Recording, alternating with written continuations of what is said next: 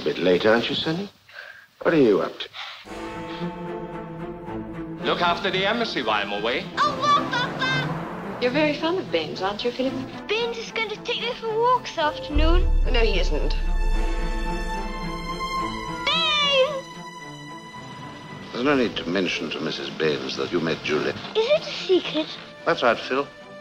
Our secret. We can't go on like this. You want your freedom? You must come. You promised you would. We'll have the whole day together. You know all about them. They're not such a child as you pretend to be.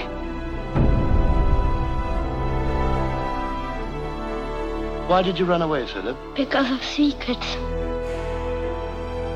Oh, if there could only have been a witness. What's a witness? He didn't do it.